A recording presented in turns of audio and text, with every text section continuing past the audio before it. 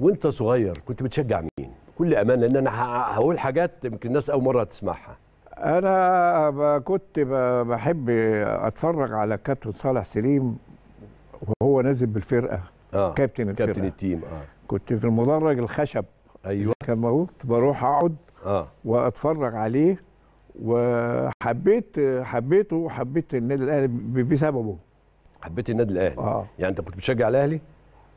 هشجع كنت بشجع الأهلي بحب الأهلي آه. طيب أنت كنت قاسي جدا على النادي الأهلي في المباراة. لا ده بقى دي لعب. ما دي بقى عايزين هقول لك على حاجة. آه. هو لو لو لو والدك بيلعب ضدك نعم.